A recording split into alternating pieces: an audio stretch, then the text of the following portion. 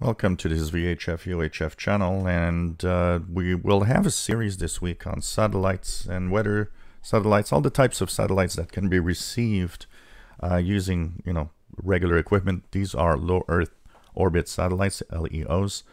So we're going to actually have a few videos talking about which ones are still working and what you can listen to, what are frequency ranges. And we'll also have um, kind of a a little video talking about how you can do some detective work. So we're going to start with NOAA weather satellites. NOAA weather satellites are in low Earth orbit. There's several that you can listen to in orbit uh, when they pass over your head, your town, your city.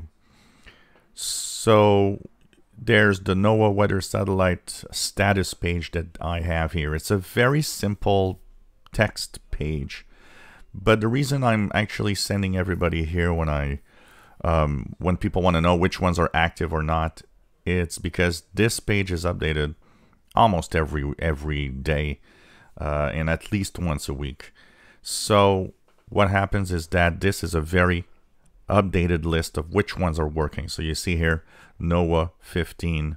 So I'm just going to highlight it. NOAA 15, the frequency of the uh, uh, picture transmission 137620. And if there's problems or anything that's unusual, there's going to be some notes. So here it says uh, it's on, but there's periods of sync problems and so on. So here you see that NOAA 15, NOAA 18, NOAA 19 are working.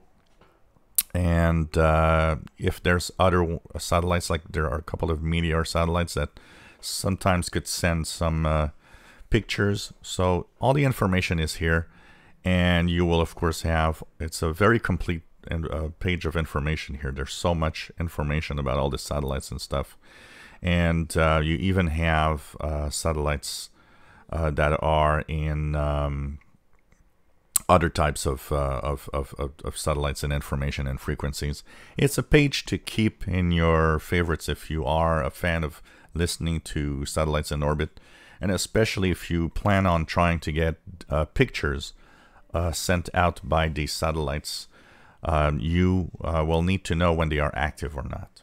So I'll post the link to this page in the description below the video and hope that you enjoy this. So this is for NOAA and, and low Earth orbit weather satellite status if you want.